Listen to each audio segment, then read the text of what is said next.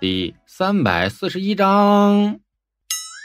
沈浪头皮发麻，哦，又来一个演技派的高手啊！你俩是兄妹？你说给鬼听啊！但是沈浪仔细看了一下，哦，真是见鬼了！这两个人还真是有些像啊，面孔不是很像，但是脸骨很像啊，肯定是表兄妹或者是堂兄妹。尹元会在天下四处布局，将女子嫁给了羌王为妃，这是很正常的事情。沈浪得到的资料，这个落雁是羌王劫掠楚国的时候抢到的一个美人那可能就是尹元会做的局。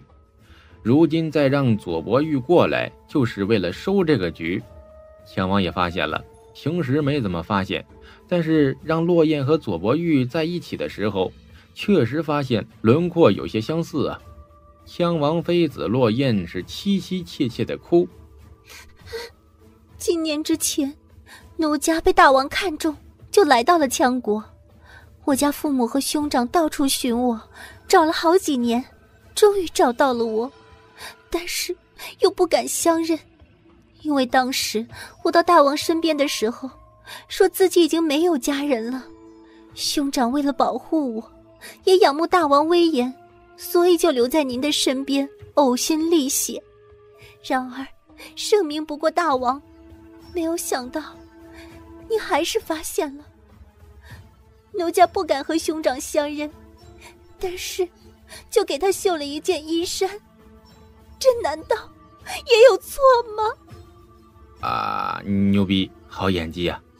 沈浪顿时叹为了观止，这演技起码给九十分。若不是他心中有定论，那只怕他也信了。面骨轮廓相似，很有可能是表兄妹，也有可能是堂兄妹。况且这是一首情诗。枪王妃子落雁目光朝着沈浪望来，闪过了一丝怨毒。谁说这是情诗了？这明明是我思念家人的诗句。我明明有家人，但是却不能相认，也不能回到父母身边。因为我已经有了新家，有了所爱的大王，有了孩子，我回不去了，只能死了之后再和父母相聚。哎呀，厉害呀！这个解释也完全说得通啊，只能说汉字太博大精深了，一首诗怎么解释都可以，可以说是男女之情，也可以说是亲人之情。接着。羌王妃子落雁是目光含泪，无比耻辱地说：“大王，臣妾还有一个办法能够证明自己的清白。”然后这个女人猛地就掀开自己的裙子，褪下了自己的绸裤。哎呀，好恶毒的女人呐！她就凭这一个动作想要害死沈浪，因为沈浪和枪王站在一边，左伯玉跪在地上，这个女人当着沈浪的面露出了自己的大腿和屁股。枪王是一个非常霸道的男人，拥有很强的独占欲。他的女人如果被别的男人看到了屁股，那还了得呀？这也相当于半顶绿帽子呀。但是沈浪反应更快，还没有等他掀起裙子，他就直接背过身去，什么都没有看到。所以这个女人的歹毒没有得逞。强王不需要看，他知道落雁大腿内侧有胎记，三颗红痣，他爱不释嘴呀。这是臣妾的独有胎记，我兄长腿上也有，只不过在左边。然后倒是左伯玉充满屈辱和悲叹的解下了自己的裤子，露出了右边大腿内侧的三颗痣，形状和落雁几乎是一模一样，也是红色的。沈浪直接断定这是做出来的，绝对是假的。那三颗根本就不是痣，这种小血流啊！那轻而易举的就可以做出来，但是枪王不懂啊，他觉得这就是天生的，他觉得两个人有一模一样的胎记，那肯定就是亲兄妹无疑了。当然啦，羌国人的私生活超级乱，所以就算是亲兄妹，也不能证明是清白的。但是至少左伯玉穿的落雁绣的丝绸小衣是比较正常的，不能证明两个人有奸情。但是羌王心中还是无法释怀，他已经有了心结了。现在局面陷入了两难，不能证明洛雁和左伯玉有奸情，也不能彻底证明二人就是清白的。忽然，洛雁寒声地说：“沈浪公子，我兄长穿着我绣的丝绸小衣，你是如何知道的？”当然是有人给我通风报信呢。你以为你们之间的丑事就没有人发现吗？你不要血口喷人！我再问你，苏南派信使传书，说我羌国使臣焚烧越国神庙导致被杀，都是你的阴谋，是真是假？这个女人要反咬沈浪了，想要将他置于死地了。对，是真的。大王，此人已经认了。他竟敢谋害我江国使臣，请大王将他碎尸万段。羌王脑子依旧充满了恼怒，却又无处发泄。此时听到落雁的话后，立刻勾起了之前的疑问。一开始他就问沈浪这个问题，沈浪回答一切都是他的阴谋，羌国使臣是他害死的，所以羌王暴怒要杀沈浪的属下沈十三和黄凤，结果被沈浪重礼给挽回了。毕竟羌王贪婪。现在这个话题再一次被勾了起来，羌王冷冷地说：“沈浪，你谋害我羌国使臣，找死吗？为什么？你如果不能给我一个解释，那就不要再活着走出去了。”沈浪心中破口大骂：“这个枪王真是善变呐，完全没有底线的。刚刚说过的话，立刻就会反口，那翻脸比狗还快。”所以有人说收下枪王岂不是这更好吗？不可能的，这种反复无常的恶狼是无法收服的。哎呀，弄死他才是唯一的选择。大王，我之所以这样做，就是想要弄死苏氏家族，然后取而代之，垄断羌国和越国的所有外交。羌王目光一缩，这个理由他能够接受。不过，我和苏氏合作的这么愉快，为何要换呢？大王。苏氏每年能给您的，我金氏也能给。不仅如此，我金氏家族还能给的更多，每年十万金币，够不够？这话一出，枪王目光一亮。苏氏家族和羌国每年贸易让利，也就是四五万金币，只有需要求枪王办事的时候，才会一下子给更多。比如这次要借枪王之手弄死沈浪。而沈浪直接说愿意给十万金币，每年十万金币。呃，不仅如此，一旦需要枪王帮忙的话，我们出手只会比苏氏更大方。枪王冷笑：“，我凭什么相信？你金氏家族我了解的不多，但是比苏氏家族穷多了。”大傻，抬进来。大傻又抬进来一只箱子。沈浪打开了箱子。而且对着窗户的太阳光方向打开，顿时一阵明晃晃的光芒几乎亮瞎了人眼。一面巨大的镜子，足足三米高、一米宽。大王，您应该知道这新镜子吧？那是当然知道了。这新的玻璃镜已经风靡了整个东方了。西域诸国为了得到这些镜子，无数商人蜂拥而至，请求和天道会合作。天道会一下子就夺回了部分东西贸易的战略主动权，只不过现在每一面镜子都在拍卖会出售，完全是天价，而且至今为止拍卖的最大镜子也没有超过六尺。眼前的这面镜子比拍卖会上最大的那一面镜子还要大。羌王妃子落雁尽管对沈浪充满了怨毒，但是啊，她也是女人呐。女人见到这么一面巨大镜子，也是不由得一颤。大王，这镜子便是我金氏家族所制造。现在您相信我们有取代苏氏家族的能力了吧？枪王望着镜子，露出了一丝贪婪的目光。他直接下令，将镜子收下，将沈浪扣押下来，逼迫金氏家族每年进贡一千面镜子给我。这就是枪王的面目：极度自私，极度贪婪。只有自己是人，别人通通都是猪狗不如。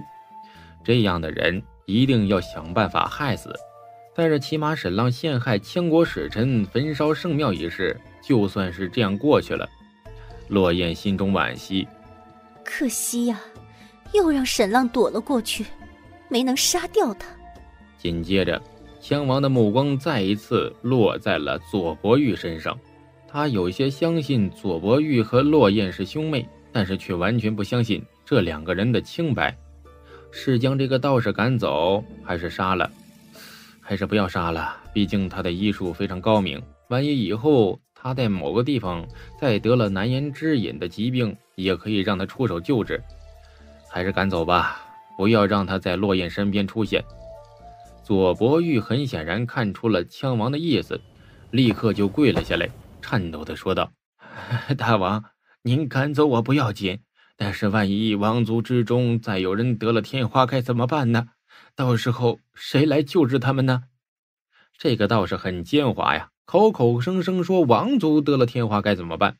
羌国的百姓他是不会去救治的，因为他知道治不好。王族的血脉比较强悍。免疫力也强，卫生条件也好，扛过天花发作不死的概率要高一些。哎，我来治。他本来就是来拯救羌国的，成为羌国救世主，彻底消灭天花疫情的。只有这样，他才能借机谋杀羌王。亲爱的朋友们，本集已经演播完毕，感谢您的收听。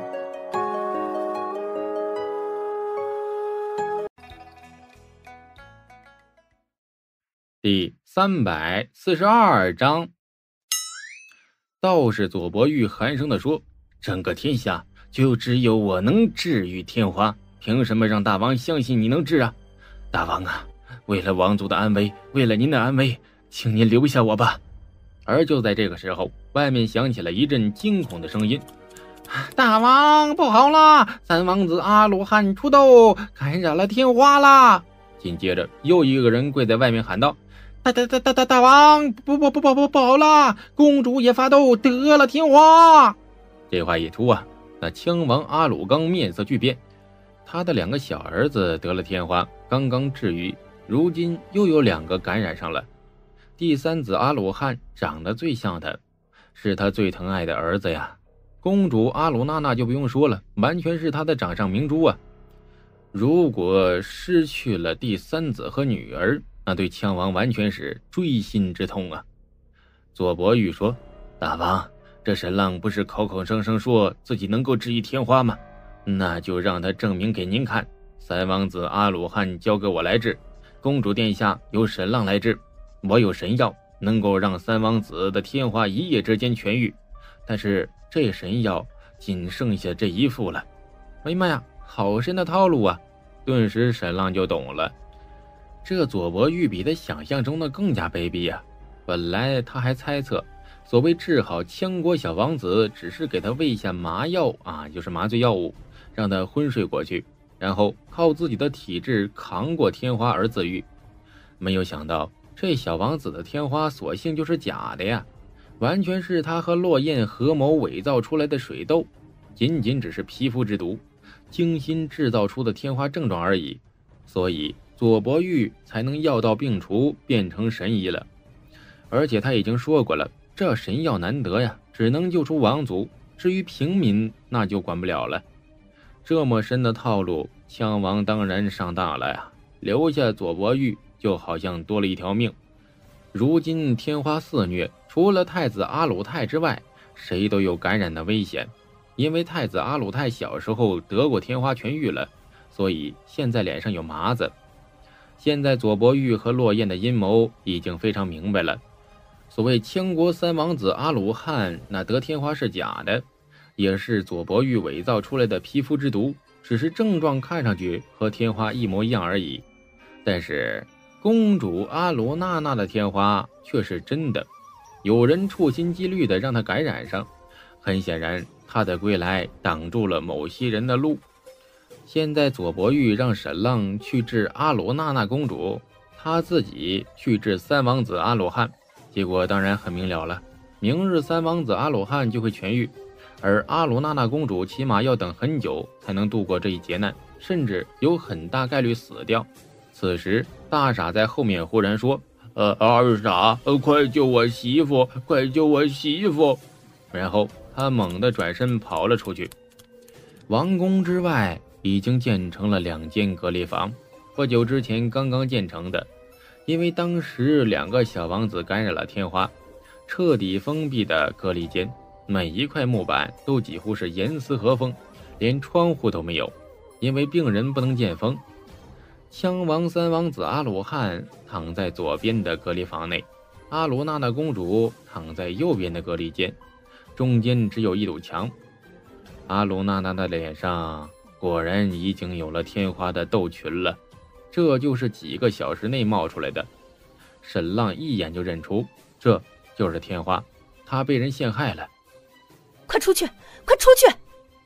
阿鲁娜娜见到大傻，立刻大声吼道：“相亲时他看不上大傻，但是心中还是亲近的，他毕竟是他的师弟嘛。哎呀，而且大傻一点都不讨厌，不像某些小白脸。大傻直接冲到阿鲁娜娜面前，抓住她的手。”呃，媳妇，你不要怕，你不要怕，二傻很厉害的，一定能救你。你疯了！阿鲁娜娜真是呆了呀！她被发现感染了天花之后，所有人都避之如同蛇蝎，包括她的母亲和父亲。而大傻非但不害怕，反而还握住了她的手。这天花传染性可是很强的呀！唾液和呼吸都能传染，更别说直接是身体接触了。呃，媳妇，你别怕，你别怕。大傻是一边哭一边说。顿时间，阿罗娜娜的内心真的有点颤抖了，感觉到了无比的温暖。她非常要强，觉得自己无所不能，根本就不需要男人。看看师傅，他需要男人吗？不需要。那我鲁鲁也不需要。但是当他发现自己得了天花的时候，真是充满了惶恐。他没有自己想象中那么勇敢，他也怕死。而且当所有人都远离他的时候，他更是感觉到了孤独无助。此时，大傻出现在他身边，握住了他的手。他顿时觉得大傻好高大呀，自己瞬间安全了下来。实际上，大傻是不会被传染的。因为沈浪早就给他种过牛痘了。隔离间之外，道士左伯玉说：“沈浪，我治三王子阿鲁汉，你治公主阿鲁娜娜。大王，我愿意立下军令状。若是明日一早我能治好三王子阿鲁汉，请您把我留下，保护王族；若是明日我不能治好三王子阿鲁汉，您就将我千刀万剐，碎尸万段。你确定要这样吗？我愿意立军令状。然后他咬破手指，写下了军令状。若是明日治好了阿罗汉王子，那就证明沈浪就没有必要留下了，请大王将他处置。说罢，道士左伯玉一脸慷慨。勇敢地迈入了三王子阿罗汉的房间之内，所有人露出了钦佩的目光，但是沈浪却没有进入阿鲁娜娜公主的隔离间。沈浪，你不是说你会治天花吗？为何还不去为娜娜治疗？天色已经晚了，不是良辰吉日，明日再治。这话一出，左伯玉放声大笑，大王，您听啊，这沈浪根本就不会治疗天花，他连公主的房间都不敢进去。你等着吧，明日一早我就为您治好三王子阿罗汉，到时候请您杀了沈浪此贼。枪王指着沈浪：“我给过你机会了，若左伯玉一夜之间治好了阿罗汉，明天我就杀你。”然后枪王离去。他的妃子落雁望着沈浪，低声的说：“沈浪，明日你死定了。”沈浪没有说话，只是吩咐：“黄凤，你是女人，比较方便，进入阿鲁娜娜公主房间照料。”黄凤一愕：“是。”沈浪又低声的说：“夜里冷，记得生火盆。”然后他无声无息的说了一段话，完全是口型。只有黄凤一个人看到而已。黄凤低声的说：“是。”三王子阿鲁汉的隔离间内，房间紧闭，他已经被麻药散给药倒了，整个人会昏睡到明日，什么都不会知道。道士左伯玉拿出了自己所谓的神药，其实就是药膏，涂抹在三王子的斗群上。这压根就不是什么天花，而是精心伪造出来的皮疹而已。用的是一种植物和毒虫的混合汁液。如今整个羌国都在闹天花，而且这皮疹豆子和天花症状几乎是一模一样，所以所有人看到了都以为是天花。这就是左伯玉神医的秘密啊！果然。他准备的药膏抹在三王子的水痘群上，仅仅两个时辰后，阿鲁汗脸上、身上的水痘群就渐渐的消了下去。明日一早就会全部消失，到时候左伯玉就会上演一夜之间治愈天花的神迹了。到那个时候啊，枪王就算是有心结，也只能把他留在身边了，因为他能够保住王族之命啊。至于阿鲁娜娜公主那边的真天花，就说神药只剩下一副了，需要时间来配，然后来推脱好了。神了，你死定了，你死定了！明日一早，三王子阿鲁汗痊愈，我创造奇迹，神郎你就死无葬身之地了。这个隔离间真是憋闷的难受啊！但是左伯玉是不准备离开的，一直守到天亮，免得出现什么意外。就在此时，外面忽然一个女声响起，是落雁的心腹侍女。她说了什么呢？亲爱的朋友们，本集已经演播完毕，感谢您的收听。第。三百四十三章，左爷，沈浪忽然连夜求见大王，怕是有什么阴谋，您赶紧过去看看。落雁为何不去？大王刚刚宠幸过主人，他他动弹不得。左伯玉心中愤怒，看了一眼三王子，此时他脸上的水痘群已经差不多全退了，应该无事了。然后。他离开了隔离间，朝着外面守护的几个武士说：“你们守住三王子，任何人不得靠近这个隔离间十尺之内。”是。几十名武士拔出刀剑，把守隔离房周围，毫无懈怠。道士左伯玉匆匆地朝着王宫走去。沈浪，你又想用什么招式来害我呀？没用的，你不要再挣扎了。明日一早，三王子阿鲁汉就会痊愈。我就会成为治疗天花的神人，而你沈浪就死定了。然而左伯玉刚刚离开不久，从隔离房间探出过一个非常细小的管子，里面源源不断的冒出了一氧化碳。于是这个三王子阿鲁汗在昏睡中不知不觉的死去。黄凤、沈十三跟着沈浪学会了很多杀人术，一氧化碳只是其中的一种。这是绝对封闭的隔离间，墙壁的每一块木板都是严丝合缝，就算有缝隙也是非常细微的。哪怕沈浪这铁皮管非常扁、非常细，也很难插进去。阿鲁娜娜公主得的真是天花，所以简直是痛苦不堪、奇痒难忍，根本就睡不着觉。一直到喝下了沈浪的麻醉散后，才昏昏沉沉的睡过去。而大傻一直握住他的手，呆呆地坐在那里。不过，就算他见到黄凤在做什么，他也不会出声的，因为他所有的注意力都在媳妇身上。媳妇真好看呐，那脸上长了那么多的天花豆子，还是那么好看。我一定会让二傻治好你的。两个隔离间只隔了一层板壁，黄凤找到了一道稍稍大一些的缝隙，然后用火盆烤。那木板刚刚伐下来不久，所以还是湿的。被火一烤就萎缩了，中间的缝隙就变大了。然后黄凤就把火盆彻底的盖严实了。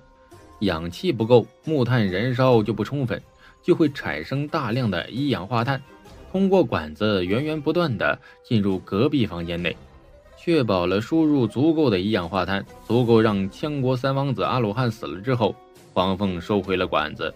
用水浸透被撑开的木头缝隙，吸饱了水之后，木头膨胀，那个缝隙再次愈合了起来。啊！再用工具压平，一切毫无破绽。甚至大傻从头到尾都没有转过身来。媳妇，我一定会让二傻治好你的，这是他的想法。尹元会道士左伯玉得意而又焦急。得意是沈浪很快就要死了，焦急是因为他心虚呀。确实如沈浪所料，枪王劫掠西域的时候，蹂躏了一个绝美的西域女子，然后下面染了病。不致命，但是又烂又痒，可把枪王给吓坏了。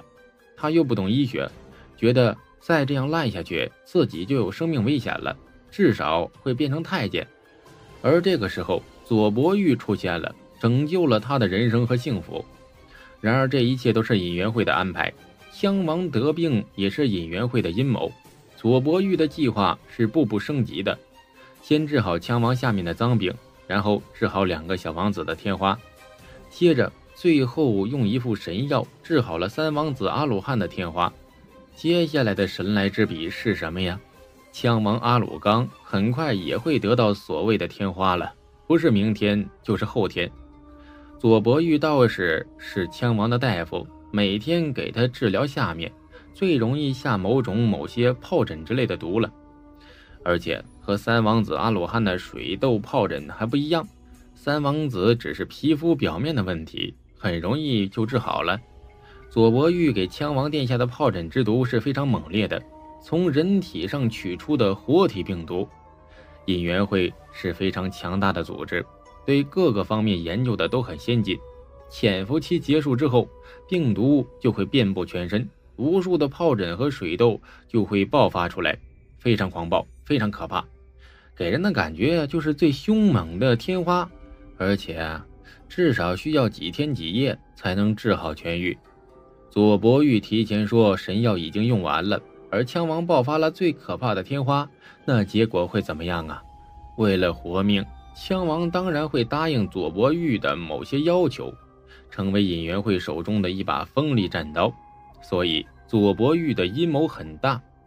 至于落雁嘛，确实是尹元会派来的卧底。但是枪王即将爆发最猛烈假天花的秘密，他也不知道，只有左伯玉一个人知晓。这种秘密越少人知道越好。枪王，你最猛烈的假天花赶紧爆发吧，这样我就能够成为你的救世主了，就能对你予取予求了。不过还是要先杀掉沈浪啊！这个孽畜若是活着，容易妨碍他左伯玉的计划。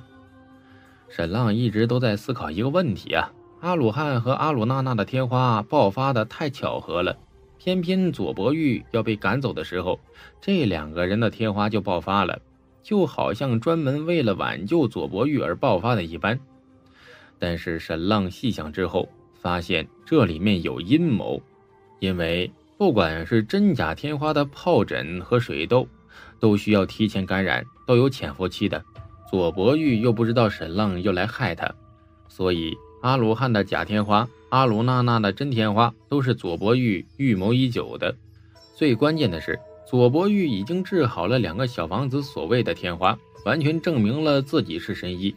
为何还要多此一举，再次上演治好三王子的奇迹呢？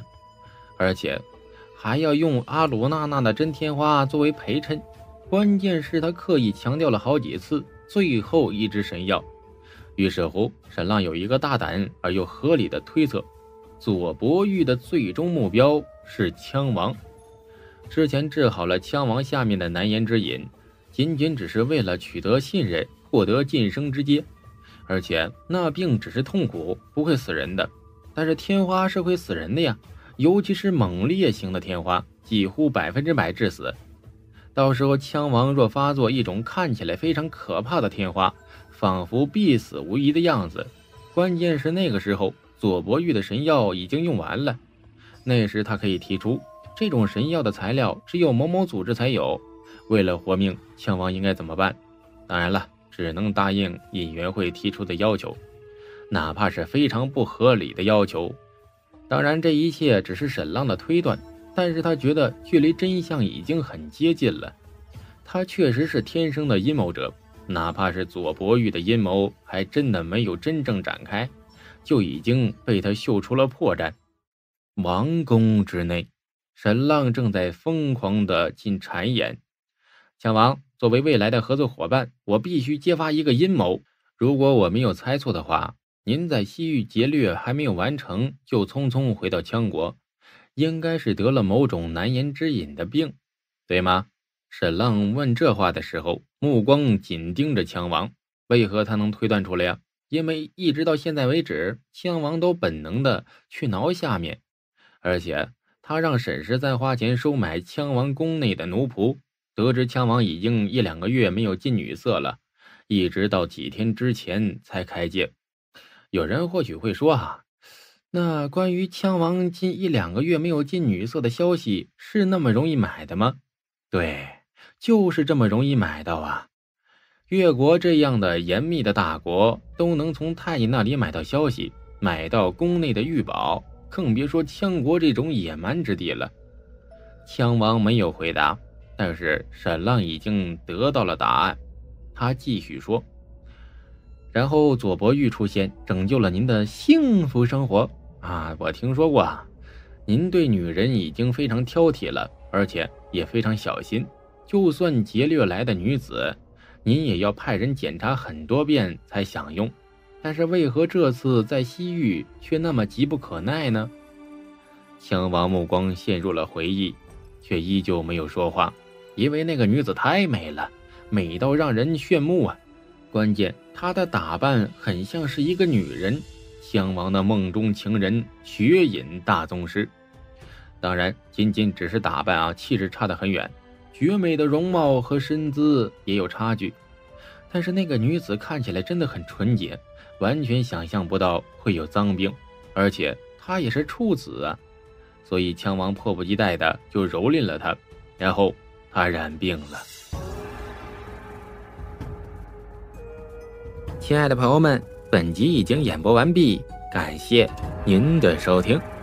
哎，四十四章。我现在严重怀疑，您在西域染病也是左伯玉的阴谋。他潜伏到您身边是有不可告人的目的的。他和妃子落雁应该是有了勾结。枪王顿时陷入了绝对的多疑中，然后。他冷冷地说：“呃，你来到我的身边，难道就没有阴谋吗？当然有了，我早就跟您说过了。我来羌国就是为了灭苏氏家族。做梦吧！”羌王心中暗说。此时，左伯玉匆匆忙忙的就冲了进来。“ 大王，沈浪不管说什么谗言，您都不要信，他已经是……”已经是临死之前的挣扎了。道士左伯玉直接跪在了枪王的面前。沈浪冷笑：“ 是不是进谗言？你自己心里清楚。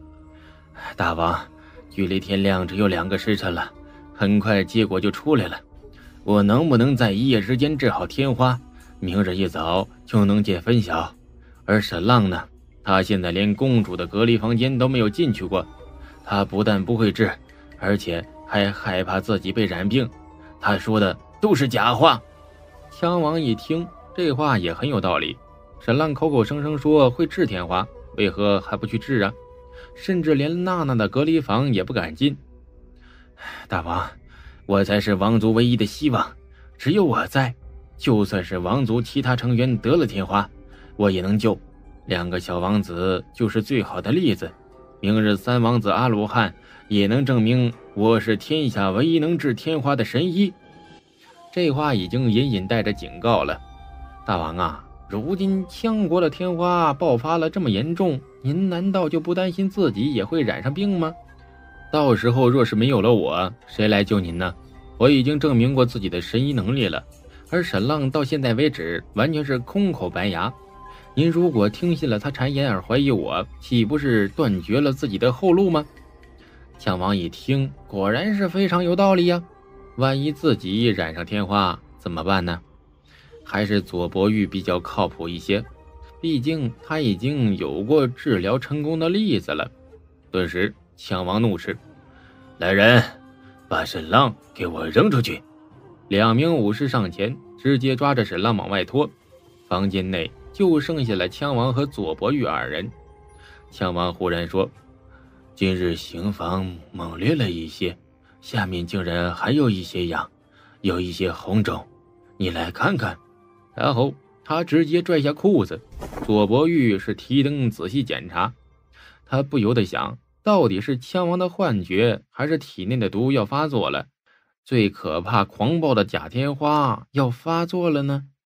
检查之后，左廷玉说：“大王放心。”您的命根没有问题，只不过之前完全是蜕皮新长，所以比较脆弱。再加上您又太勇猛，所以稍稍有些磨损，才会觉得疼痛和麻痒，完全没有问题。只不过在那方面，您稍稍克制一些。项王高兴地提上了裤子，反正也快天亮了，就索性不要睡。本王带你去参观宝库。左伯玉无语了。已经参观很多次了，因为枪王特别喜欢显摆。大王，不管是显摆还是收买人心，您能不能用其他套套套套套路啊？接下来，枪王兴致勃勃地带着左伯玉参观了宝库，尤其是沈浪刚送的三尺翡翠雕像，倒是左伯玉见了也是啧啧称奇呀。不过他话音一转，大王。明日一早，结果揭晓了之后，若是能证明我一夜之间能治好三王子的天花，那沈浪是杀还是不杀呀？枪王皱眉，他毕竟答应过神女雪隐的呀，而且沈浪一直在送他礼物，扣押着他，岂不是能够源源不断的讹诈金氏家族？但是左伯玉能够治疗天花，又不好寒了他的心。于是枪王说。嗯，这样如何？我们不杀他，但是打断他的手脚，并且将他囚禁在铁笼里面，砍断他的一只手，送去金氏家族，让他们花钱赎买，如何呀？而且，就算金氏家族掏再多钱，你也不可能放掉他。对，就这样，怀璧其罪，就是这个道理。枪王一旦显摆自己的宝库，那就没完没了。很快，两个时辰过去了，左伯玉那忍不住了：“ 哎，大王，天亮了，时辰到了。”早晨，太阳已经升起，枪王、道士、左伯玉、沈浪，整个枪国王族近百人都站在了枪王宫的大门口，因为结果又再一次的要揭晓了。之前左伯玉治好了两个小王子的天花，但是却花了好几天的时间。这一次，他竟然要一夜之间治好三王子阿鲁汉的天花，究竟能不能上演奇迹？如果再一次成功的话，那左伯玉就成为了真正的神医，整个千国王族再也不用担心天花的威胁了。所以，羌国王族几乎所有成员全部到场见证这一幕。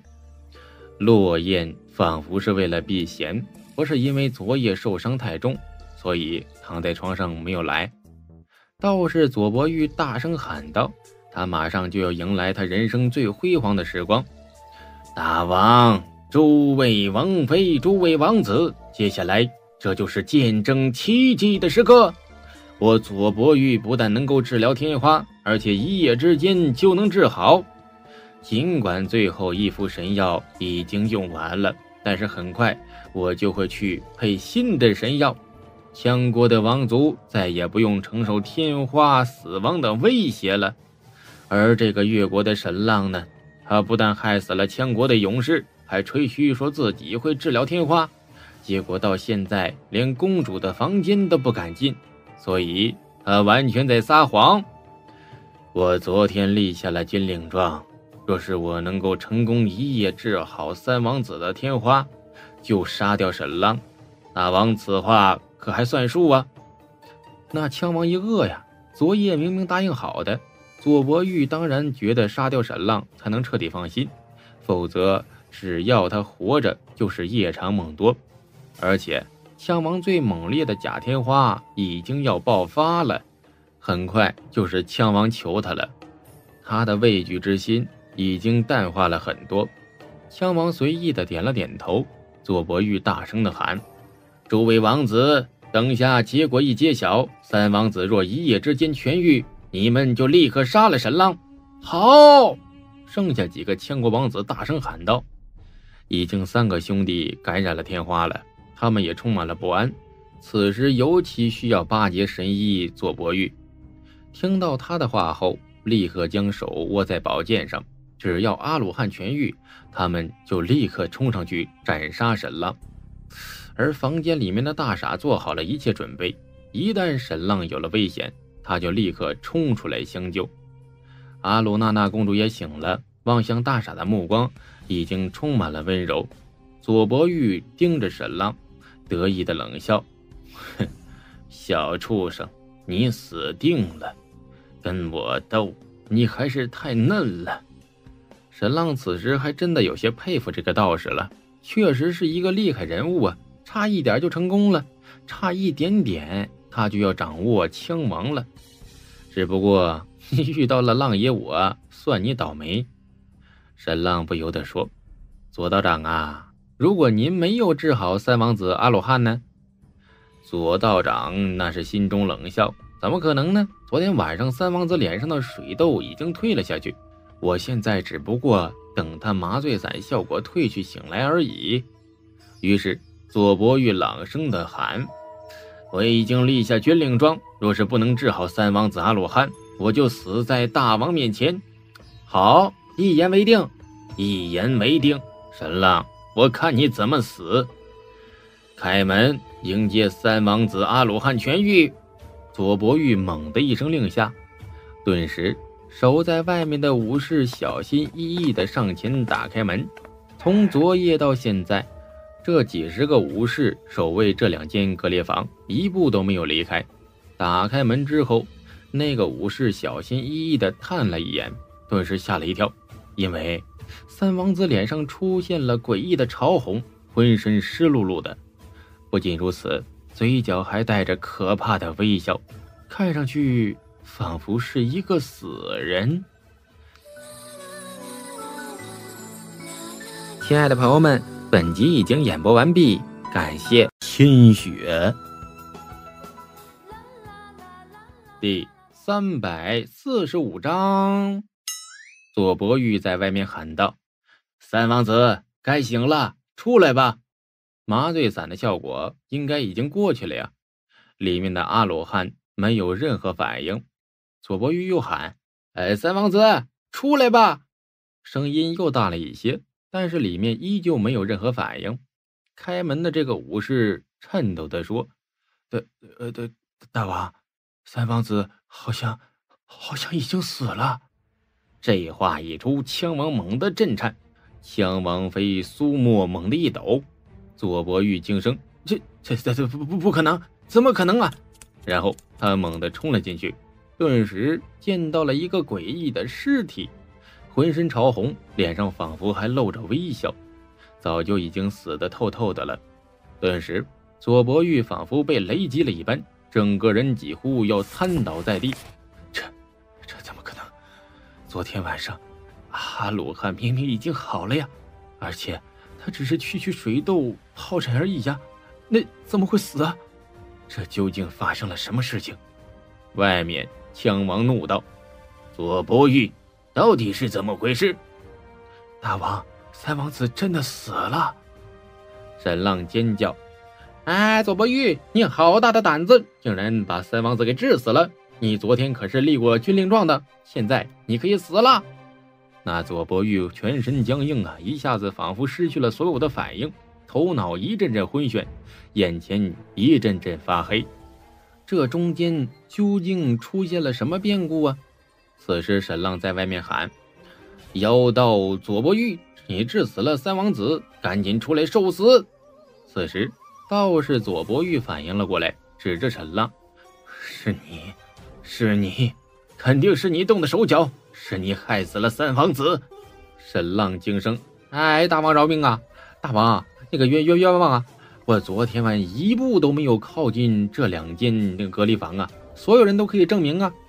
没错，沈浪确实没有靠近过，就连枪王也可以证明。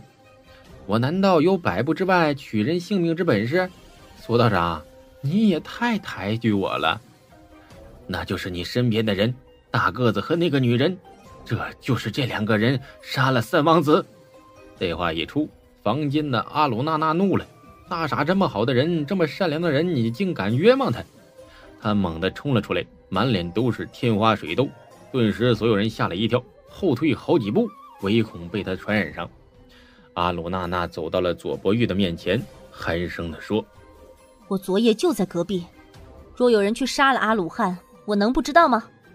就是你治死了他，就是你致死了他！Fuck you！”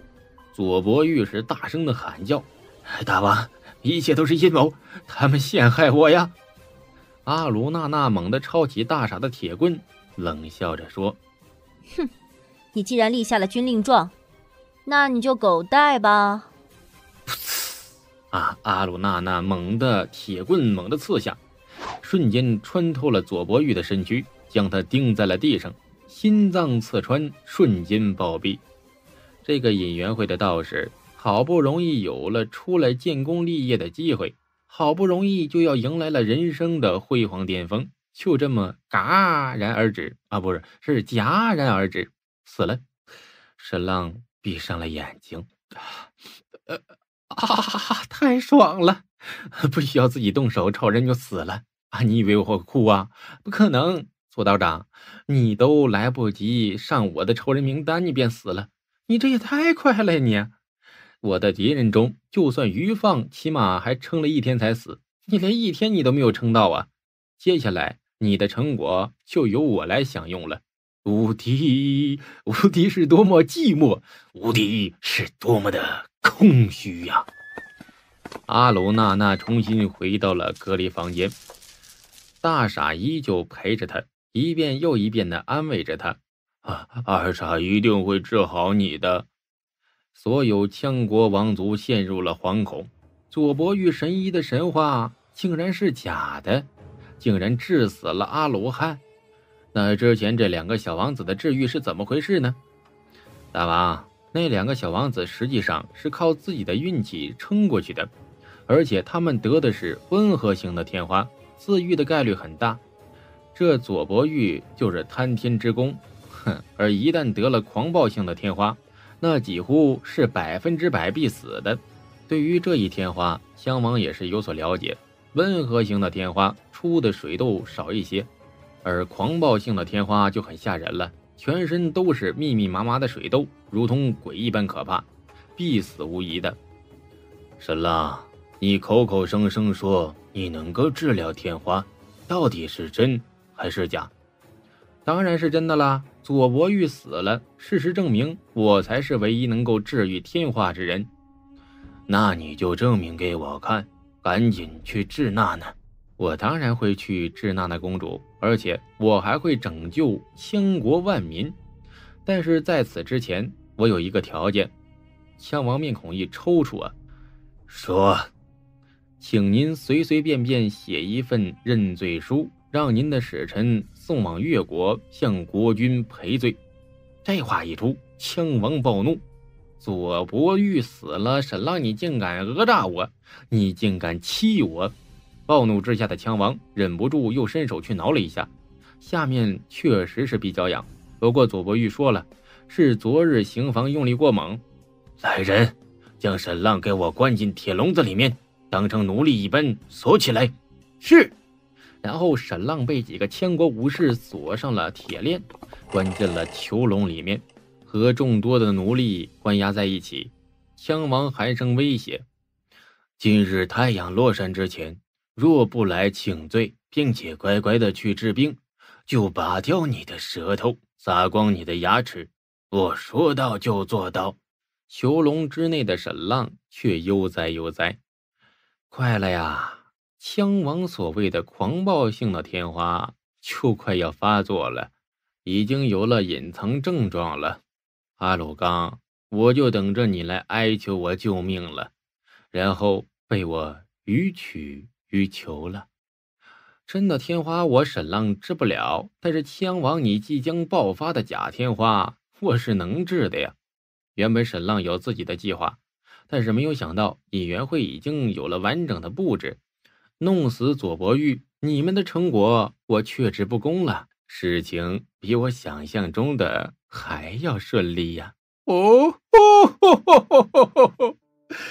枪王的妃子落雁听到左伯玉道士被杀，她顿时完全惊呆了，然后泪水狂涌而出，就如同沈浪所猜测的那样，她和左伯玉从小就是堂兄妹，与舒廷玉也是堂姐弟，只不过舒廷玉是嫡系，左伯玉是落雁的庶系。就如同在大家族中，嫡系的地位高高在上，庶系的地位显得尴尬，所以左伯玉就去了尹元会的炼金部门，学习了艺术、毒术等等。而落雁更惨，被派到了枪王身边，成为了他的女人之一。他和左伯玉在好几年前就有了私情啊，如今只是旧情复燃而已。他知道的秘密不多的，而且也没有明确的指令。就只是潜伏在枪王身边配合，这几年他何止是不快乐呀，简直就是痛不欲生啊！这枪王根本就是一个禽兽。其他君主的宫中，那些女子争先恐后想要君主进入自己的房间侍寝，比如越国的宁远县，他的那些妃子的才能啊，简直就是八仙过海，各显神通。渴望着国君来自己房间，那那那眼睛都快狂掉了，甚至啊去巴结国君身边的宦官。但是在羌国，这些妃子对侍寝完全充满了无限的恐惧，每一次都伤痕累累，痛不欲生。这十年来，羌王抢来的女人至少死了好几个了，已经。落雁已经觉得自己人生凄惨，完全见不到希望，如同身处地狱之中。而就在这个时候，左伯玉来了，瞬间久旱逢甘露，他的人生重新充满了希望和光芒。左伯玉答应一定要将他带走，脱离苦海。而现在，他的爱人左伯玉竟然死了。他强忍着疼痛，冲到了羌王宫之中，在羌王面前跪了下来，颤抖地说。大王，一定是沈浪谋杀了三王子阿鲁汉，是他害死我兄长左伯玉，请大王做主啊！襄王恼怒：“你受伤了，就好好的躺着。”落雁心中愤怒：“我受伤还不是你害的？”襄国太子阿鲁泰迈着浑厚的步伐进入了王宫。这几天他一直在外面处理天花疫情。说白了，就是将所有得了天花的人杀了，只不过越杀越多呀，最后只能彻底隔离，再也不敢杀了。再这样杀下去的话，羌国的几分之一的人口都要被杀绝了。亲爱的朋友们，本集已经演播完毕，第三百四十六章。再杀下去啊，那就快灭绝了。而且天花的蔓延愈演愈烈，丝毫没有要停下来的意思。几乎整个羌国都被笼罩在死亡的气氛之中，无数羌人都已经绝望了。而这个时候，连雪山神庙都无计可施，他们苦苦哀求的天神，并没有能够挽救他们的命运。于是，很多人说，这是因为羌人这些年制造的杀虐太重了，所以才会遭到报应。羌国太子也很高，大约一米九左右，没有羌王那么高，也没有阿鲁娜娜公主那么高。他也不是长子啊，羌王太子得了天花死了，如今阿鲁泰的羌国太子之位稳如泰山，因为他已经得过天花，不会再得了。父王，今天又死了三千人。阿鲁泰说，羌王心脏猛地一抽，羌国才多少人呢？区区几十万而已呀。这每天死几千，用不了几个月就死完了。之前死的都是老弱，现在青壮也开始成片成片的死去。我们的骑兵已经开始死人了，完全挡不住。枪王头疼，之前每隔几年也爆发天花，但是也没有那么严重啊。边上的落雁说：“一定是沈浪害的，他最擅长害人了。他之前就一次性害死了海盗王裘天威的几万人。”一定是他的阴谋，父王，这样下去不行啊！就算我们羌国人不死完，死一半也承受不了啊！大王，这沈浪不是号称会治天花吗？就让他给娜娜治，三天之内治不好，就代表他撒谎，就 kill him。此女对沈浪还真是恨意冲天呢，想方设法的要将他害死。太子阿鲁泰说：“父王，我倒是也听说过沈浪有几分本事，不如让他试试看。他竟敢给本王提条件，让我向越国国君写认罪书，简直就是找死！”太杂鲁泰暴怒，还声的说：“竟然有此事！我现在就去拔掉他的舌头，斩断他的一只手。”他表现的比那枪王还要愤怒，因为他必须要有这样种态度：妇孺子死吗？枪王摆了摆手：“左伯玉死了，别管是真还是假，但是沈浪口口声声说他能够治疗天花，若是这个人再死了，那就没有指望了。但是想让他向越国写认罪书，完全是痴人说梦。枪王杀人无数，这些年来想打谁就打谁。”那讹诈完越王之后，又讹诈楚王，威风八面，霸气冲天。现在竟然让我写认罪书，真是找死！若非局势特殊，我早就将沈浪剁碎喂狗了。强王嘶声地说：“我已经说过了，天黑之前，他若不跪下来认错，将自己说的话吞回去，那我就拔掉他的舌头，斩断他的一只手，然后让他乖乖的去给娜娜治疗。”我哥哥左伯玉三天之内治好了我们的小儿子，沈浪若三日之内治不好，就代表着他是骗子，就代表着他欺瞒大王，就该被碎尸万段。太阳落山的时候，若他不请罪，不乖乖的给妹妹治病，我亲自动手拔掉他的舌头。枪王有些疲倦，头脑也有些昏沉，不知道是不是昨晚一夜没怎么睡的缘故。但是他之前经过几天几夜没怎么睡觉，一点事情都没有啊。我先睡一觉，等太阳落山的时候，你就将沈浪给抓来。是。周围窗户关闭，大门关闭，所有的烛光全部熄灭。枪王阿鲁刚独自一人坐在大殿宝座上闭目睡觉。片刻之后，响起了雷鸣一般的呼噜声。这片囚笼是专门关押奴隶的，简直是臭气熏天呐！不过还好，这群人因为始终被关押着，所以没有和外面有太多的接触，也没有传染天花。但是简直这里就是人间地狱呀！沈浪单独的一个囚笼，而这些奴隶十几个人挤在一个囚笼里面，连站的地方都没有，更别说是躺下了。每天缺衣少食。甚至连水都喝不够。这些人里面有越国的，有楚国的，还有西域的。羌人每一次出去劫掠，都要抓来大量的奴隶。男人去挖矿，活活累死；女人就作为繁衍生育的工具。总之，不管男女，都惨不忍睹。这个时候就能看得出大燕王朝的优越性了。虽然那边的政治很复杂，甚至谈得上是黑暗。但是起码不会毫无秩序，不会地狱一般。羌国每一次抓来奴隶，起码要死掉三分之二。沈浪听到很多越国奴隶说话的声音，不由得就问：“哎，你们是越国哪里的呀？”黄都城、万山郡、白叶郡。沈浪听到这些地名，不由得皱起了眉头，因为这些都是越国境内区域啊。在苏氏家族封地的东边，因为苏氏的外交效果斐然，所以近年来羌国没有入境劫掠。怎么会有这么多的越国奴隶呀？你们是怎么被抓来的呀？被谁抓来的呀？沈浪就问。大道三眼邪，哎，对，哎大道三眼邪，每年大道三眼邪，呃，就会到处的劫掠抓人，一次几百上千人，然后将我们卖给羌国。沈浪听到这话，几乎要气炸了，浑身发抖。这里面有惊人的黑幕啊！此事这么大，应该闹到天上去了。大盗三眼邪每年都要劫掠几百上千人，这是天大的案子呀！但是国都毫无听说，根本没有人谈起。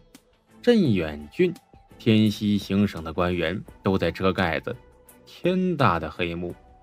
那沈浪用脚趾头都能想出来，所谓的大盗三眼邪，完全是苏轼圈养的盗匪。为了政治平定，为了让羌国不入境劫掠，苏轼就自己假扮盗匪，劫掠越国子民，当成奴隶送给了羌王。你们不要来抢，我自己送上门去。哦，难怪这几年羌国都不来劫掠了。苏氏家族该死，万山郡太守该死，镇远郡太守该死，白叶郡太守也该死，甚至那个西行省的都督也该死。苏难，你这个老贼，你简直是毫无底线呢！老乡，你们是种田的还是做什么的？我们是种田的，后来田没了，就进入了工坊做事，就进入了矿场啊挖矿。然后，呃，就被三眼邪给抓了，卖到了羌国来了。这手段层层递进，非常老练呢。先让这群人离开村庄，离开田地，离开周围视野，然后再用假扮的盗匪将他们劫走，送给羌王做奴隶。这些人可都是越国无辜的子民，来羌国做奴隶，几年之内必死无疑。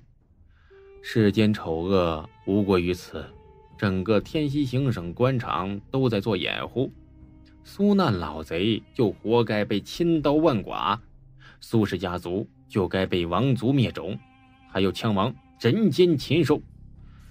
苏难呐，苏难呐，你为了家族富贵，你为了跪舔枪王，简直是毫无人性，毫无底线。不仅如此，苏氏家族对整个天西行省官场的掌控，完全超过了沈浪的想象之外。太阳落山，一个高大的身影出现在沈浪的面前。他就是羌国太子阿鲁泰，没有羌王那么高，但也雄壮无比，浑身充满了爆炸性的力量。论武功，他仅仅在羌王之下，阿鲁娜娜公主都不见得是他对手，因为他的老师先是羌王，然后是雪山神庙的一个顶级强者苦海大祭师。这是一个极其神秘之人，平时很少露面，只待在雪山之巅的庙宇之内。越国人就是你要让我父亲写认罪书的。阿鲁泰不屑地说。此时，旁边的笼子里面的奴隶说：“大人，给我一口水喝吧，我要渴死了，要渴死了。”阿鲁泰目光一寒，上前举起那个铁笼子，猛地往地上一砸。接着再举起，又猛地往地下一砸。此人真是天生神力呀！这铁笼子加上里面十几个人呢，只怕有两千多斤重啊！他竟然就这样给举起来了，这样的神力真是罕见呐！连砸了几下之后，铁笼子里的十几个奴隶浑身伤痕累累，鲜血淋漓。谁还要喝水？所有的奴隶战战兢兢，再也不敢说一句话了。羌国人就是这样对待奴隶的，完全当成了猪狗还不如啊！将沈浪拉出来，押去王宫。阿鲁泰下令，顿时两个武士将沈浪带出了囚笼，朝着王宫走去。亲爱的朋友们，本集已后期制作千雪，第三百四十七章。枪王要睡觉，所以窗户都紧闭，大门也关上，所有的烛火都熄灭了，整个大殿一片漆黑。枪王依旧坐在大殿的宝座上睡觉，发出了如雷一般的鼾声。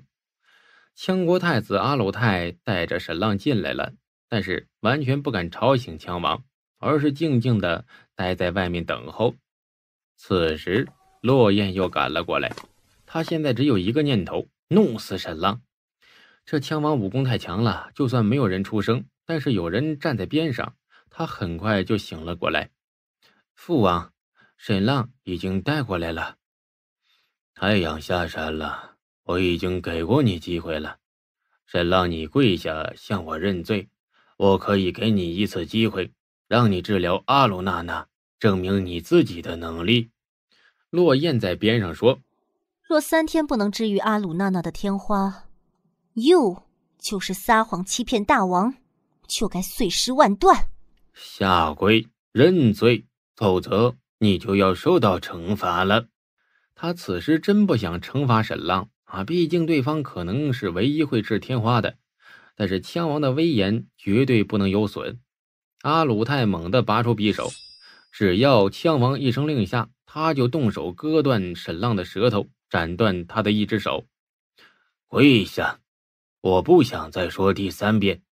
天火，这黑漆漆的。父王，我这就动手惩罚对你不敬的人。沈浪，从今以后你可以不用说话了，因为你的舌头要被割掉了。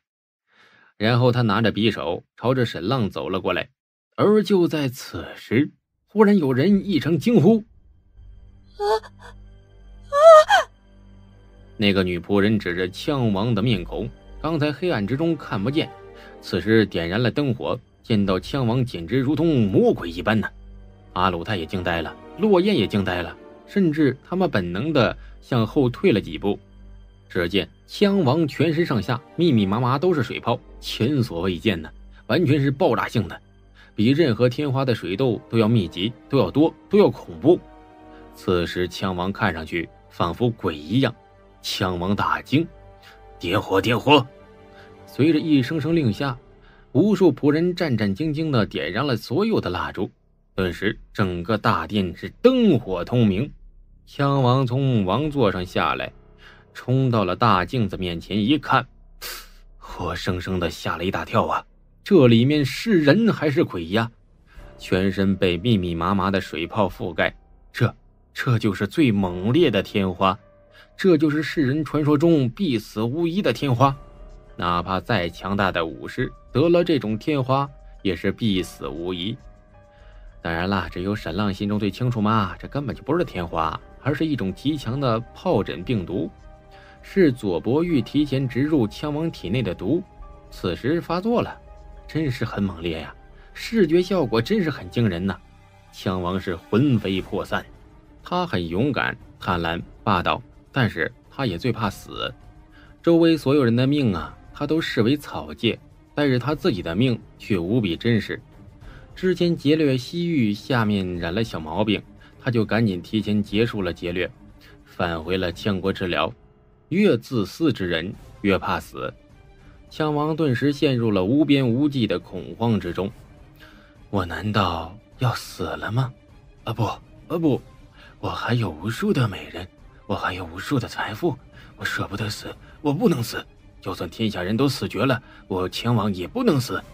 我还要去劫掠，我还要去蹂躏女人，我还要去享受无尽的荣华富贵和权势。我这样的英雄豪杰，应该不会死。谁会治天花？左伯玉，左伯玉，你快让他过来！枪王惶恐之下，那想到的还是左伯玉，但是他很快记起来了，左伯玉已经死了。紧接着。他觉得头痛欲裂、干呕、浑身发热、高烧不退，这些症状几乎和天花是一模一样，而且来势是如此凶猛。此时他想到了沈浪，沈浪，你不是会治天花吗？你赶紧给我治！你给我治！那枪王大吼：“大王，我当然会治天花了，而且只有我一个人能治，而且我准备的东西只能配一副神药。”只能救一个人，却必有神效。这话有些耳熟啊！给我，配药给我！枪王此时再也顾不得女儿阿鲁娜娜的死活了。我敢保证，一个时辰就见效，一天就会痊愈一半啊！三天就差不多消退，十天就彻底痊愈，没有任何的性命之危，百分之百治好，完全没有任何副作用，甚至连麻子都不会有。此时。那沈浪仿佛电线杆子，那个神医附体。别废话了，快给我治！你听到没有？那枪王暴吼啊！刚才刚睡醒的时候还好，现在一暴躁，顿时觉得奇痒难忍。想要我为您治，非常简单，答应我两个条件。枪王一愕呀，怎么有两个条件了呢？啊，别急嘛，因为接下来会变成三个条件的，条件会越来越多的。说。第一，这落雁和左伯玉有奸情，而左伯玉已经死了。这个女人千方百计的要害死我，有她活着，我芒刺在背，就算给您治疗，我发挥也不好，所以请您将她杀了，我才能完全发挥出我的水平，为您治疗。这话一出，落雁惊呼：“骗子！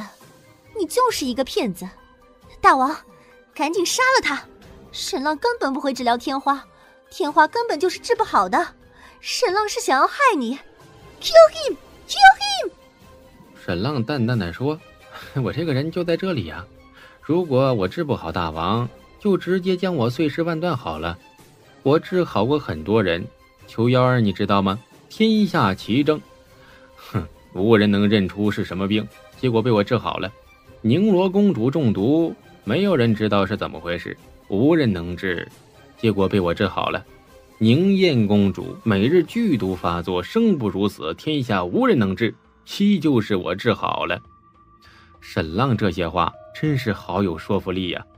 这落雁只不过是您抢来的一个女人，而且已经睡腻了。关键是您已经有心结了，她和左伯玉确实不干不净。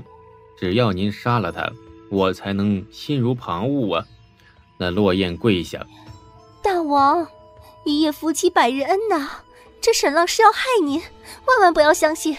万万不要啊！您赶紧杀了他，杀了沈浪这个孽畜！襄王望着跪在地上的落雁，寒声的说：“你是在怕我的天花吗？躲得这么远？我身上染了天花，是不是和你有关系？和左伯玉有关系？是不是你们在害我？”然后他猛地上前，抓住了落雁的脖子，猛地一扭，此女香消玉殒。然后，枪王朝着沈浪说：“现在，你可以为本王治疗了吧？”“嗯，还不行，还不行。你还要什么？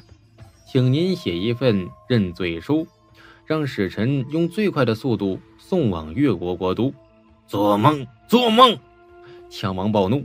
太子阿鲁泰也是大声的说：“父王，这简直就是对您的耻辱！我现在就挖掉他一只眼睛。”我看他敢不敢再提非分的要求，看他不乖乖的为你治疗。说罢，阿鲁泰的匕首再一次抽出来，朝着沈浪走来。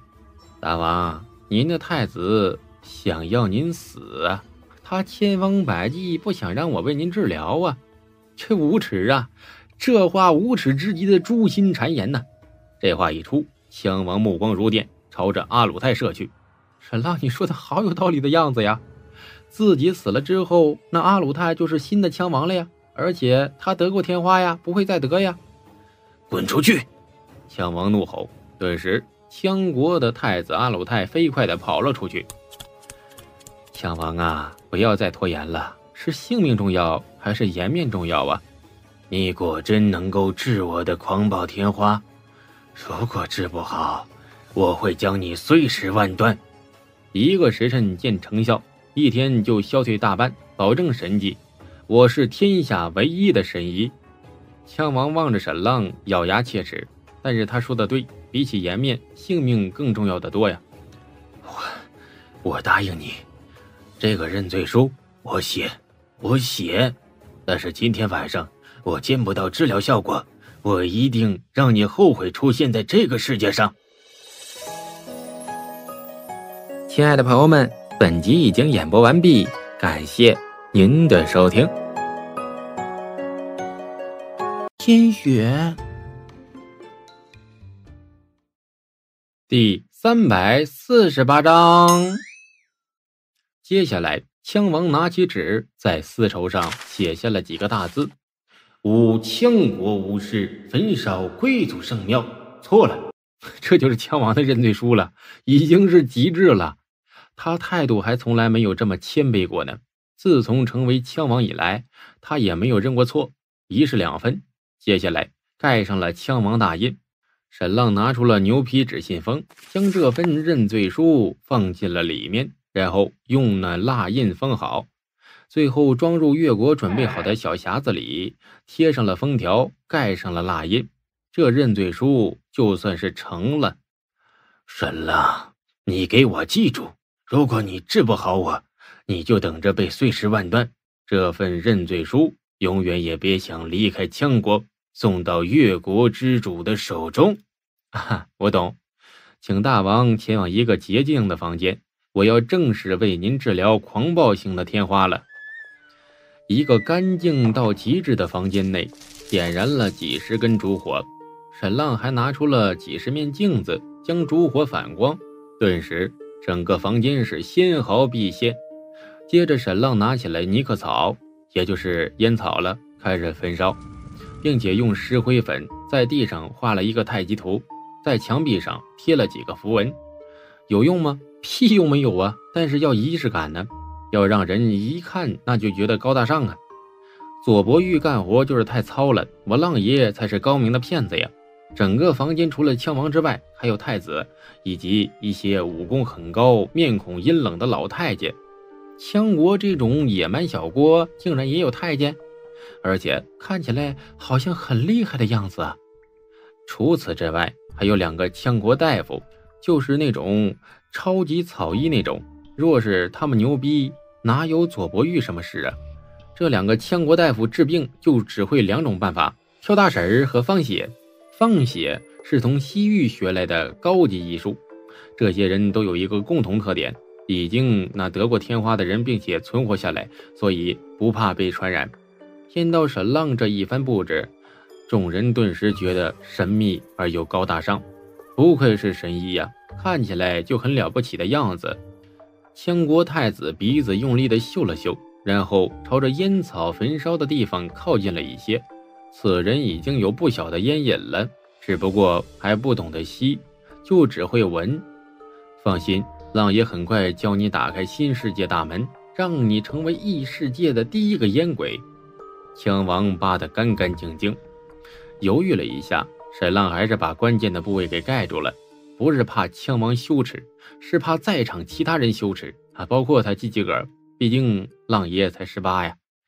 此时枪王已经非常痛苦难耐了，发烧很厉害，并且有强烈的呕吐感，关键是奇痒难忍。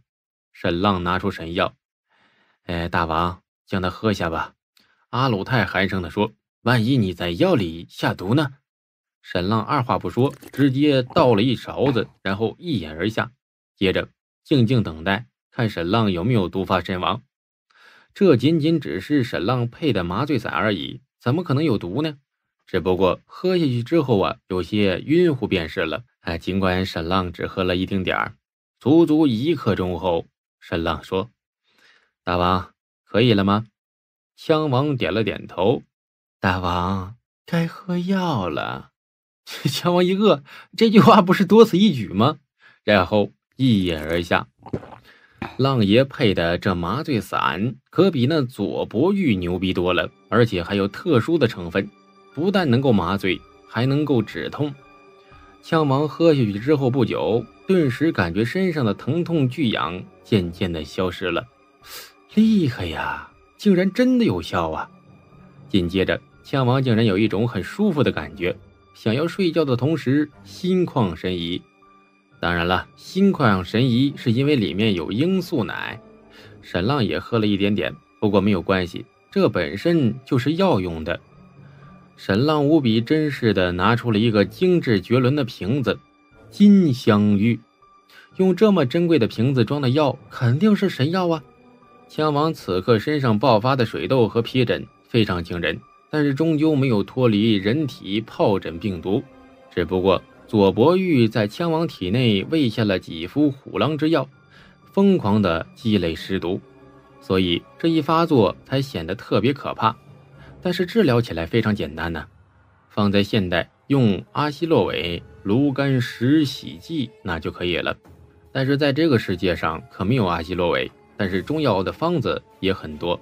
蛇丹汤配方加上板蓝根就有奇效，另外沈浪配置的中药膏啊也有奇效，好吧啊，说的更直接一些，枪王根本不需要救治，你躺着躺几天就能好了，只不过沈浪用药会好的更快一些，而且也显著一些。沈浪无比珍视的舀出了一些药膏，先放在舌头上舔了一口，表示无毒。过了半刻钟后。戴上了丝绸手套，将药膏一点点涂抹在枪王身上密密麻麻的水洞上。啊啊啊！即将昏睡的枪王忍不住的叹息出声：“舒服，太舒服了！沈浪果然厉害呀，一出手就知道有没有，能不舒服吗？那里面有薄荷冰片的，清清凉凉，不要太爽。有效，有效，有气效。”枪王嘴里念着，然后沉沉睡了过去。你出来，羌国太子朝着沈浪低声的说。沈浪跟着他走了出去。在大殿上，羌国太子说：“沈先生，这些治疗天花的神药，真的只有最后一副了吗？”沈浪点了点头。羌国太子说：“那无数感染了天花的普通人就不能治了吗？”沈浪发现。此时，阿鲁泰和刚才完全不一样了。在枪王面前，这个阿鲁泰充满了暴力和杀戮，而此时的阿鲁泰却显得冷静。此人和他爹不太一样啊！沈浪拿出一根烟，用火石点燃，然后美美的吸了一口。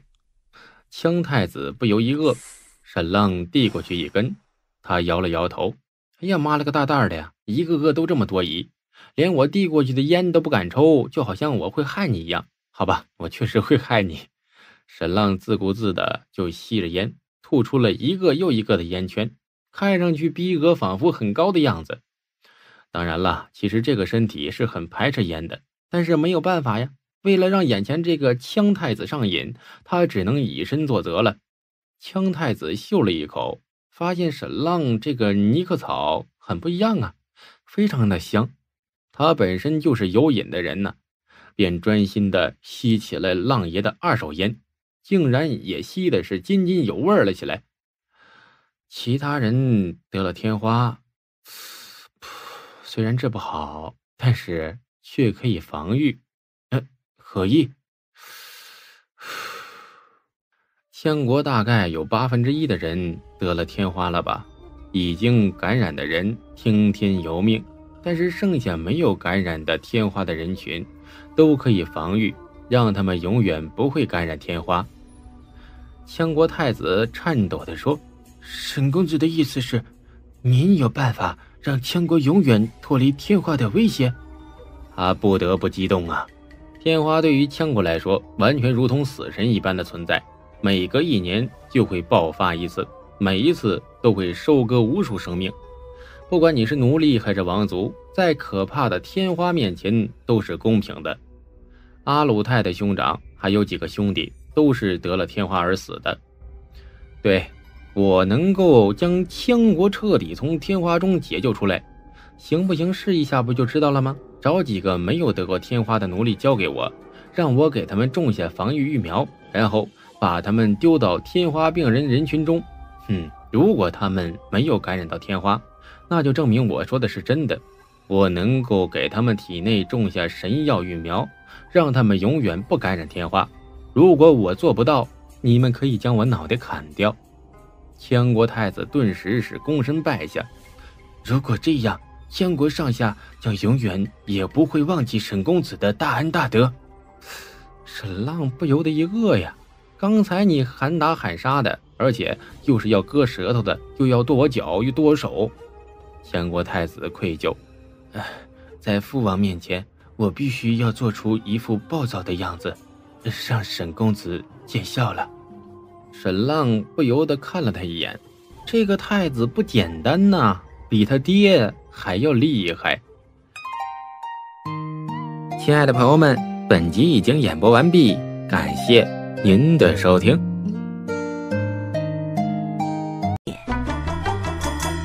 第。三百四十九章，先治好枪王再说。若先生能够给我羌国万民种下神药育苗，永远不再受到天花威胁，季氏家族就是我们羌国最好的朋友。那我家能够取苏氏而代之，成为你羌国在越国的唯一伙伴吗？羌国太子犹豫片刻，呃，完全取代很难。有些话我不好讲。他的意思啊，现在毕竟是父王在位啊，他也表示出，一旦我上位了，那就什么都好谈了。哎，上天有好生之德，我当然不会眼睁睁看着无数羌国民众死去。我愿意拯救羌国脱离天花死神，但是我有两个条件，请讲。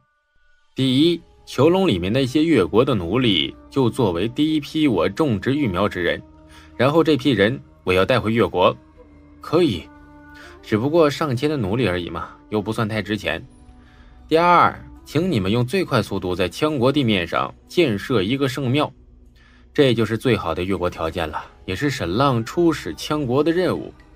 第一个任务，让羌王写下认罪书，并且派遣使臣前往越国国都认罪，这个任务啊，已经算是完成了。第二个任务，在羌国地面上建设圣庙。羌人烧我越国圣庙，奇耻大辱，有违国家尊严，怎么挽回呢？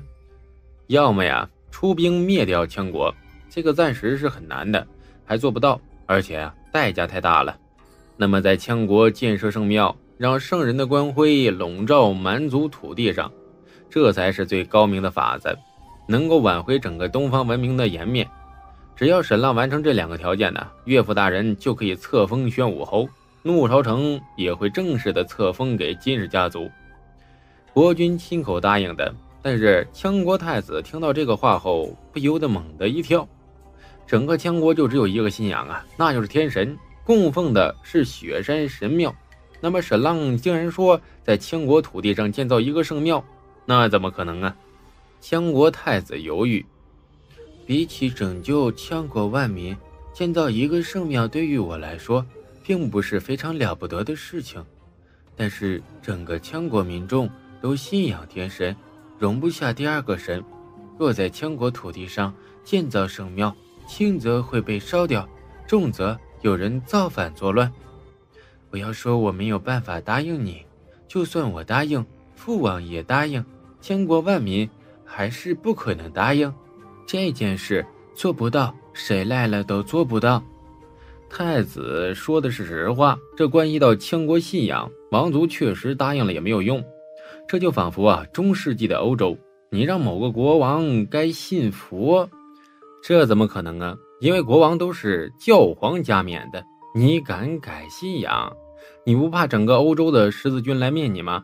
沈浪说：“那么，请太子在皇宫之外不远处的空地上盖一所大房子，可以吗？”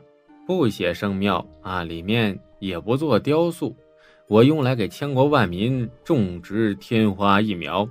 接着，沈浪强硬地说：“这个条件若是不答应的话，那拯救羌国一事就不要再谈了。”羌国太子想了一会儿，然后点头：“嗯，这件事情我会禀报给父王，应该可以。”枪王这一觉睡得真美呀，整整睡了六七个时辰。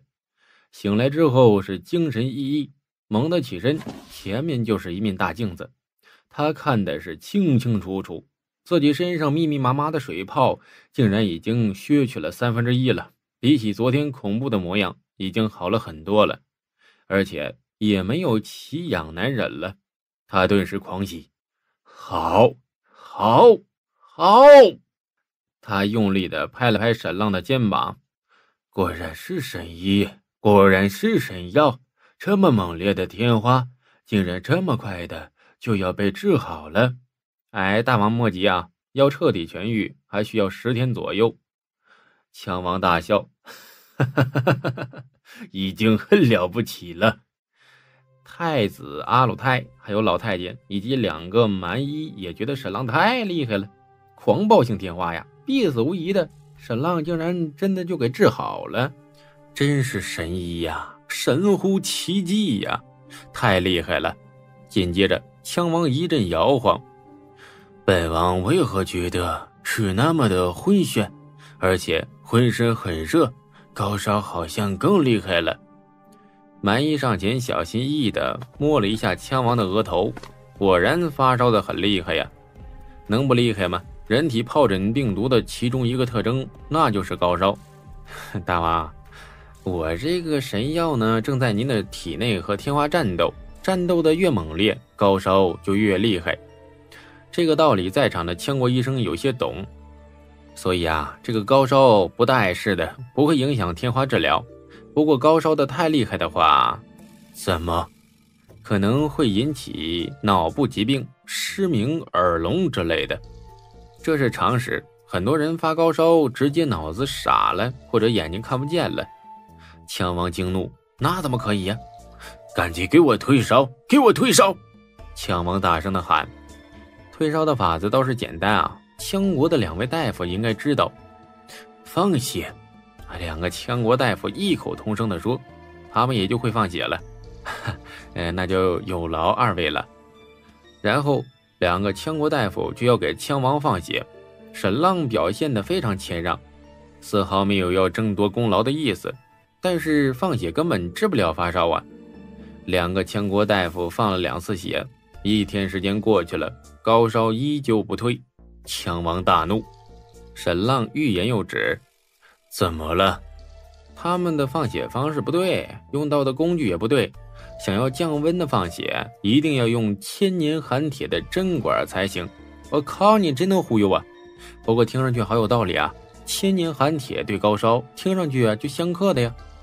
接着，沈浪拿出了他的秘密武器，用铁皮卷成的针管，啊，非常的惊喜的。沈浪主动给羌国太子和羌王检查，为了表示无毒，他先把那个针泡在水中，然后将水喝下。然后又用这个针管呢划破自己的手背流血，依旧没有毒。枪王和太子、老太监两个羌国医生检查了一遍又一遍，用人体测试了十几遍，这针管完全没有问题，确实冰凉凉的。妈蛋的啊！现在天气还那么冷，能不凉凉吗？沈浪，你给本王放血吧。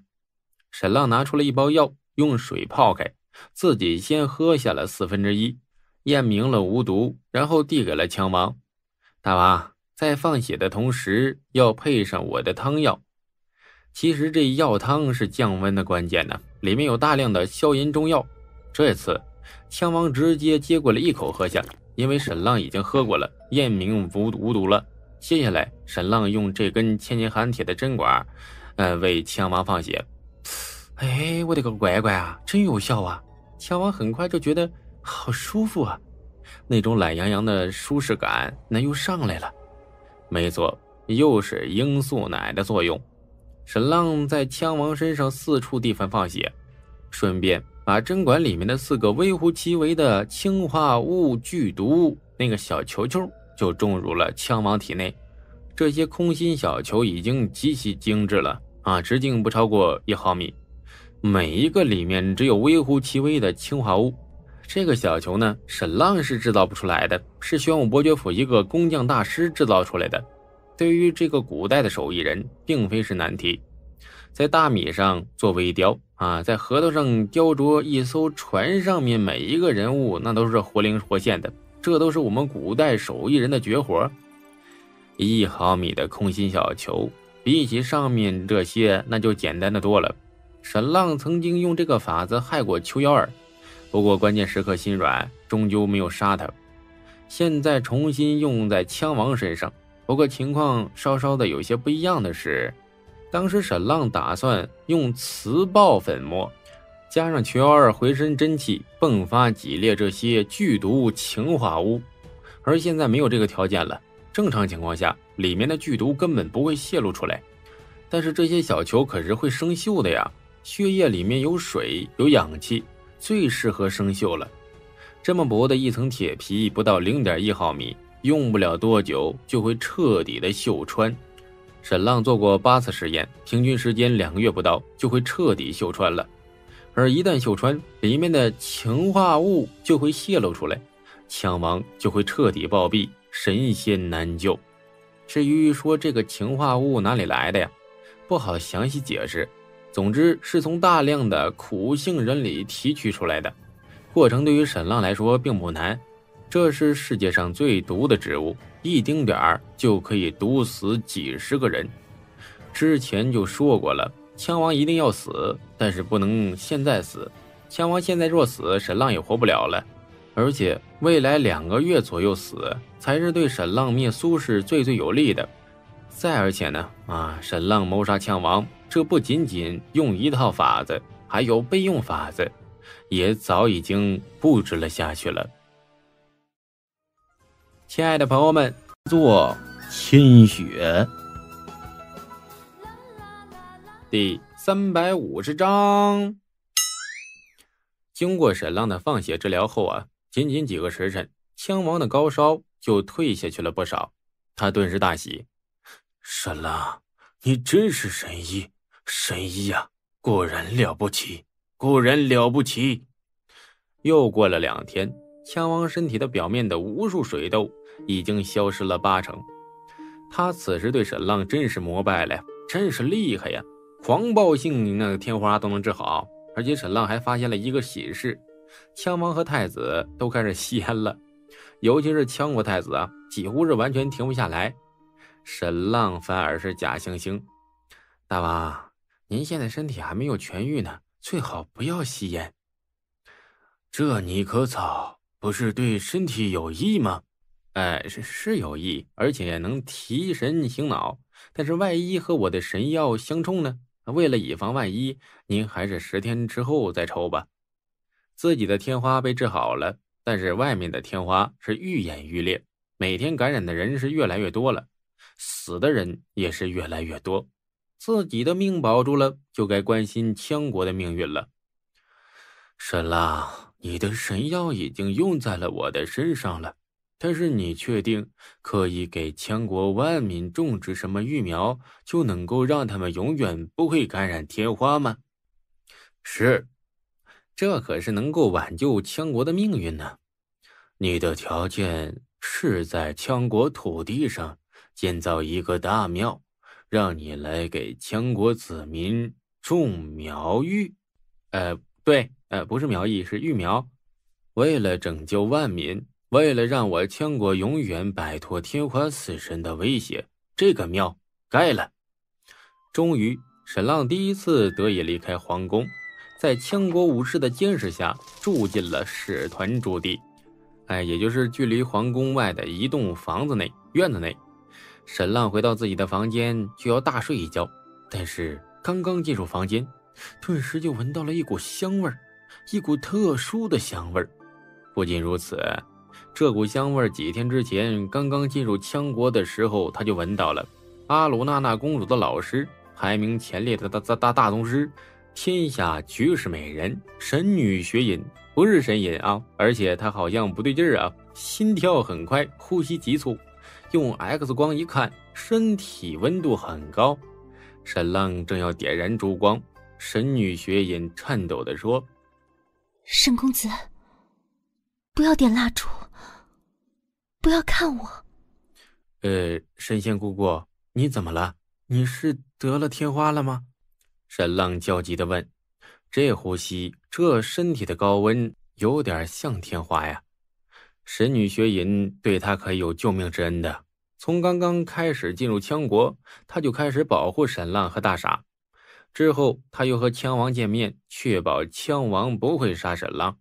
最关键的是，沈浪仅仅听到他的声音，就觉得无比亲近。不是天花，你等一会儿，一会儿就好了。呃呃，好。沈浪乖乖答应。因为对方的声音仿佛有一种让人不舍得抗拒的温柔力量，然后他坐在黑暗之中，片刻之后，空气中的香气更加浓烈了，真像是美酒一般让人迷醉。但是神女雪隐传来的声音越来越痛苦，尽管她拼命的压制住，但是还是痛苦的无法抑制，她仿佛在承受着一种苦楚。这种苦楚甚至超过大靠公主的肾结石发作的时候。算了，在神女雪影面前，沈浪几乎都不忍用“大靠”这种词语，还是回越国之后再用吧。神仙姑姑不容亵渎。总之呢，此时雪隐在承受着比肾结石还要可怕的苦楚。沈浪甚至觉得整个地面都在颤抖，他不挣扎，不喊叫。整个身体在颤抖，全身的真气在颤抖，所以导致地面也颤抖。沈浪终于忍不住了，冲上前去握住雪隐的手，顿时仿佛摸到了一块冰，又仿佛摸到了一块玉，柔软却无比的冰凉，滑腻又无比的芳香。真是奇怪呀，他明明发了高烧，那手却如此冰冷。不要，会伤到你。然后他飞快地松开了沈浪的手，抓住了旁边的一块石头，砰的一声脆响。坚硬的石头活生生的被捏碎了，这可是整个越国排名前列的大宗师啊！难怪他松开了沈浪的手，这股力量若是捏在了沈浪的手上，只怕瞬间就成泥了。竟然将石头给捏碎了，可见他承受的痛苦是何等的惊人！快好了，快好了，沈公子，你不要怕，快好了。